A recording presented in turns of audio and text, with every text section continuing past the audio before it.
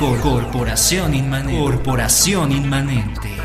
Presencia internacional en medios. Porque son inteligentes. Ven, ya regresamos, son exactamente las 7, las 8 de la mañana con 22 minutos, nos vamos a la recta final. Estamos con Víctor Coca, quien está comentando, ya terminamos o dejamos a un lado la ley Bala, que para todos es una ley represiva, intimidatoria, en fin. Nos vamos ahora con la elección del Partido de Acción Nacional, que justamente el pasado domingo eligió de nueva cuenta a Gustavo, perdón, a Gustavo Madero, sí. Sí, sí, sí. ¿Cómo lo viste? El- ¿Se reconstruirá pronto Acción Nacional, Víctor? Yo, lo- yo lo vería con dos temas. Primero, el hecho de que el Partido de Acción Nacional haya abierto el proceso interno, lo haya hecho público. No se, no se rompió un, un vaso, no se rompió una botella, nada, todo bien. Lo hicieron de manera muy transparente. Este, pareciera que el resultado fue así, pues ganó Madero, y es el que nuevamente le vuelve a ganar a, yo siento, no le ganó a Cordero, le ganó a Calderón. Calderón. A Calderón, lógicamente, porque ya le había ganado dos veces, bueno, es la segunda vez que le gana, ¿no? Uno dando a, a, A Cordero. de la coordinación de del Senado. del- exacto, del, del Senado y ahora le vuelve a ganar, ¿no? Este, lógicamente, pues es un, es, un, es un tema en el cual posesiona a los principales operadores de esta campaña, a, a- muchos, a todos los gobernadores, todos los que tenían interés y incidencia en este proceso. Fue interesante, ¿no? Fue interesante el tema. Eh, resulta ahora que PAN es el partido más demócrata, ¿no? Sí, sí, sí, pues habría que preguntar a los demás partidos y dónde está el proceso interno, cómo se manejan el cambio de dirigencias, se hace público, no se hace público, se hace fast track, se hace también ahí eh, en acuerdos políticos. El tema del PAN es, es, es especial, se meten en ese proceso, lo hacen bien, lo hacen limpio, pues no lo hacen mal, lo hacen bien.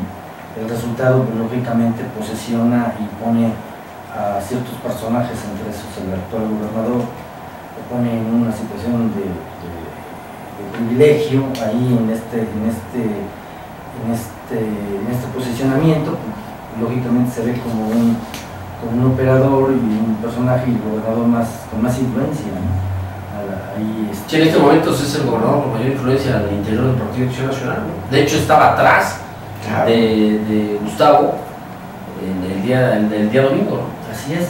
Entonces, por ejemplo, pues nosotros como actores políticos pues, tenemos que ser muy respetuosos. Yo, como, como PT, pues, tengo una visión, soy muy respetuoso, hago mi, análisis de tipo personal. Pero bueno, yo le preguntaría al panista, al panista, ¿está contento realmente aquel, aquel eh, panista que trae la doctrina, la doctrina, los principios ideológicos?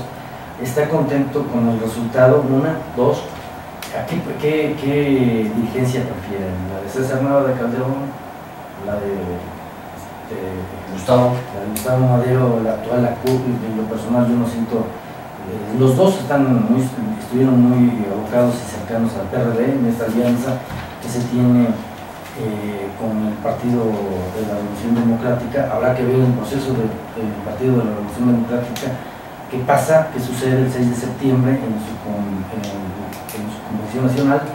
Eso es otro tema, el que se va a dirimir ahí. Eh, hay dos situaciones en las cuales en este momento, si se diera la posición de, fijar este, candidaturas, bueno, en este momento pues hay intenciones e interés por parte del PRD, de la fracción que manejan los, los chuchos, nueva izquierda, y, y se irían unidos con el PAN, por lo menos al menos esto se ve. Si cambia eh, esto con Carlos Navarrete, si fuera, si, cambian las cosas, pues entonces si es eh, Cuauhtémoc, pues definitivamente esta, este movimiento pues, no se daría.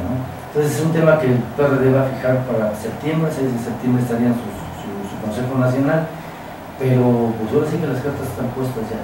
El PAN ya fijó su posición, está ahí, están metidos en el tema, bien como tú lo comentas, en este tema de la reconciliación lo lograrán, no creo que con una taza de café puedan lograr lo que, se, lo, lo que tienen, el problema agudo del panismo, de Amatere, el panismo, de, este, de todo este de, braille, eh, de se sacaron, se dieron con todo, no creo que lo, que lo lleguen a, a ir con una taza de café, ¿no? No hay como que voluntad política. No, no, no, de los dos bandos, ¿eh? Ni del gobernador del estado ni, de, ni del yunquismo.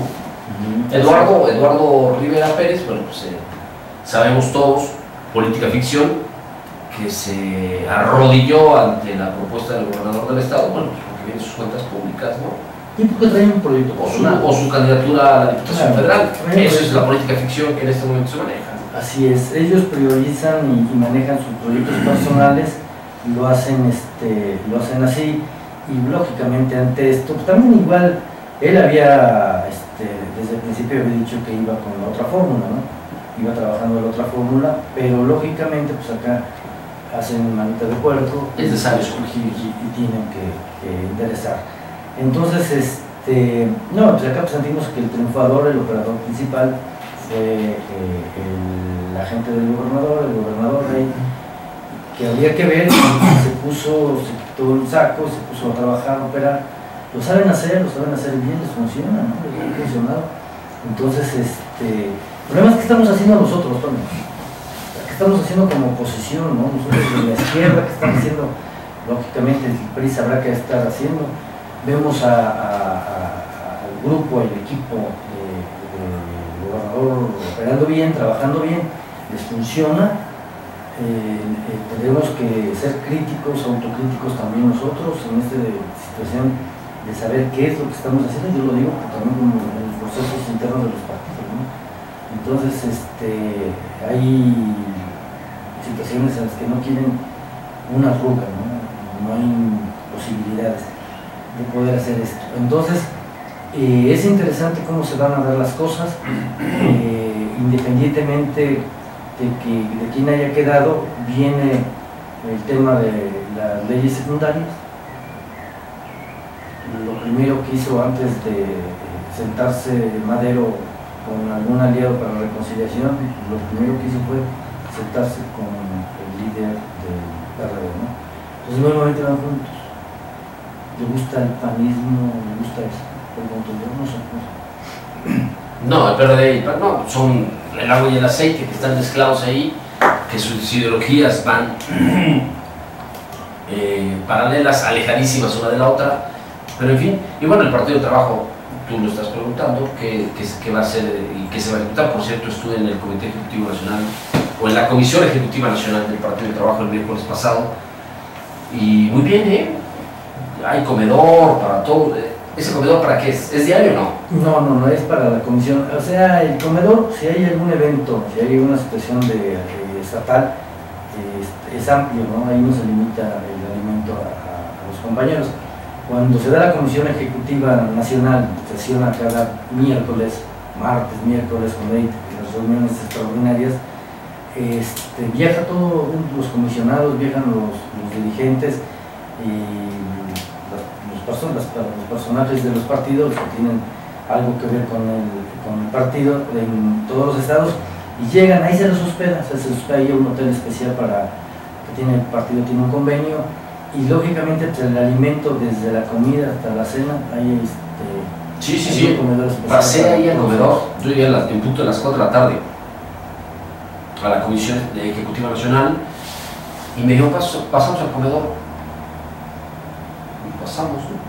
Pero ahorita que también en el Congreso, ¿eh? en el Senado y en el Congreso también hay una atención muy especial para todos los que Visita. iguales, todos, todos, ahorita con, con Manuel Bartlett y con este, Alberto Anaya, que son los coordinadores, igual y ahí hay un comedor especial.